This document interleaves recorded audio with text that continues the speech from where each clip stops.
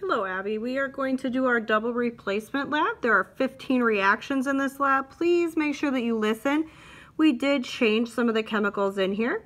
We're going to start with reaction number one. We're going to take barium chloride and we are going to place it in with sodium sulfate. And right away you can see a chemical change is happening. And if we can watch, there we go. You can see a nice white powder form. We'll look at that at the end after it's settled out.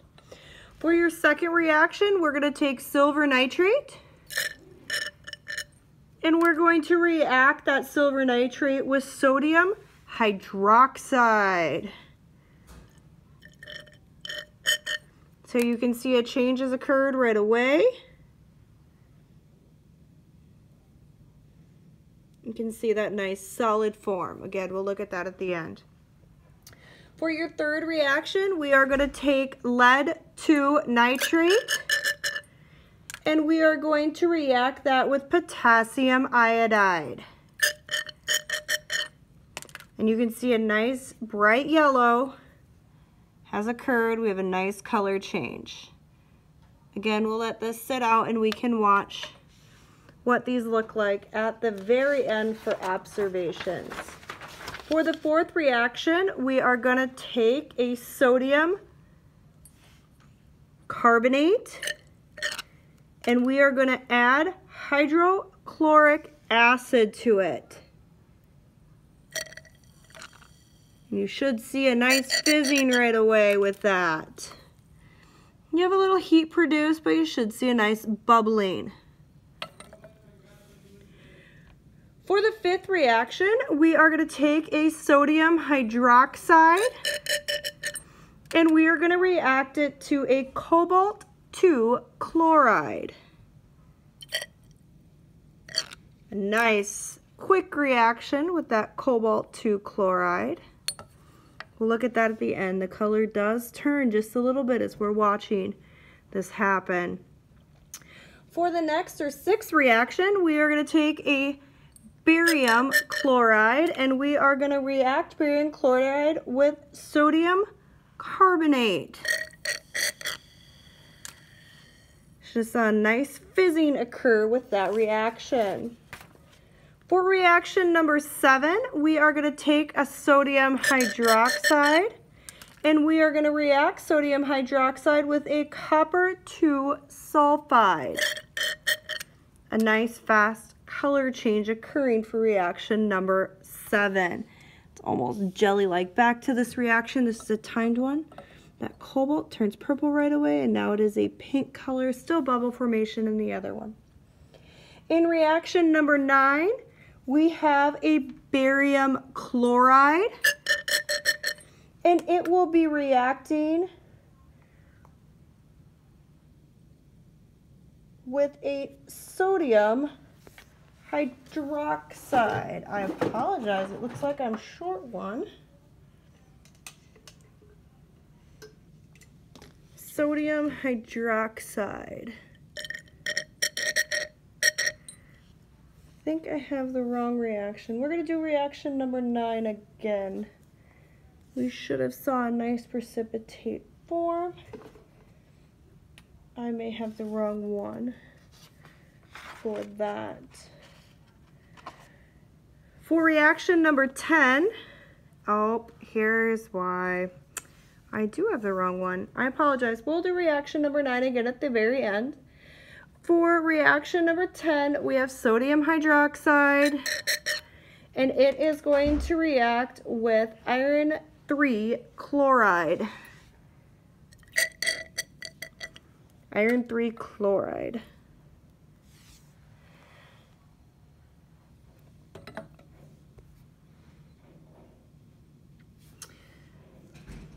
For reaction number 11, we have sodium hydroxide. I believe I just did reaction number 9.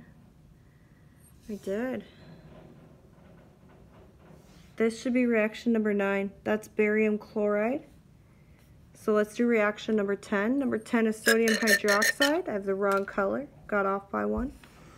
And this one is iron 3 chloride. That looks correct for that one. Reaction number 11 is copper 2 sulfate, which should be blue in color to start with, and it's going to react with sodium hydroxide. There, that's in the correct order. So this again should be our number 10. This is our number 11. This is barium chloride and hydrochloric acid. That's your number 9. This is our number 10, our iron 3 chloride and sodium hydroxide, and our number 11, copper 2 sulfate and sodium hydroxide. For reaction number 12, we have lead 2 nitrate.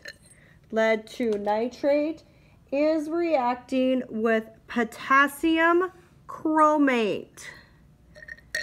Beautiful. Lead 2 nitrate, potassium chromate. I'm going to move this over so that we can see these better. For reaction number 13, we are going to have a sodium hydroxide is reacting with iron nitrate, iron 2 nitrate, a nice reddish color. For the reaction number 14, you should have calcium chloride is reacting with sodium hydroxide. For reaction number 15, we have magnesium sulfate is reacting with lead 2 nitrate.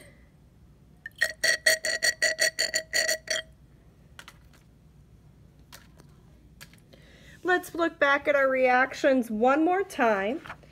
In reaction number one, you can see a nice powder has formed. Let's see if we can just see it better here. We have a nice powdery formation on the bottom. Here. Again, that reaction for reaction number one is barium chloride and sodium sulfate. Reaction number two is a silver nitrate reacting with a sodium hydroxide. Reaction number three, you can see a powder on the bottom. Reaction number three is going to be our lead nitrate and potassium iodide. Reaction number four, we only have bubble formation in that, and reaction number four was sodium carbonate and hydrochloric acid. Reaction number five originally was purple and now is turned a nice pink color. You can see that solid formation in there. And that is our sodium hydroxide with our copper 2 chlorate. Our barium chloride and sodium hydrox, I'm sorry, Yep, sodium carbonate only form a bubble formation. For reaction number seven, we have sodium hydroxide with a copper 2 sulfide. And nice blue, and you can actually see it's almost jelly-like. Fun stuff. For reaction number eight, we have we have to redo reaction number eight because that should not look like that. We'll redo reaction number eight. Reaction number nine is barium chloride and sodium hydroxide, which should be a nice powdery formation. Reaction number 10, we are going to see iron 3 chloride with sodium hydroxide, and this will actually, you can see that thick, almost baby food-like formula. For sodium, I'm sorry, copper 2 sulfate and sodium hydroxide is your number 11. And this one is almost like a jelly paste. For reaction number 12, you have a lead 2 nitrate and potassium chromate. And you can see a nice yellow precipitate at the bottom.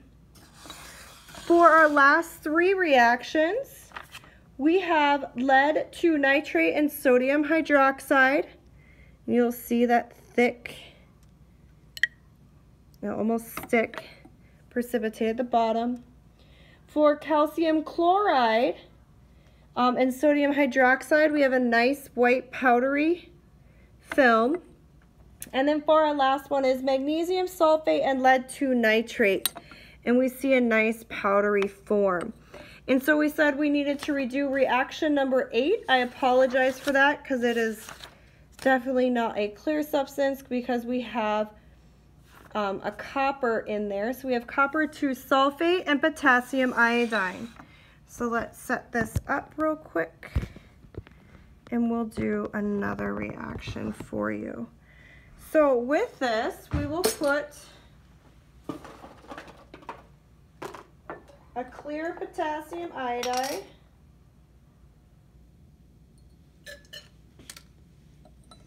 I'll move these out of the way so we can see this. A nice clear potassium iodide goes in and we put a copper 2 sulfate, which is a blue color.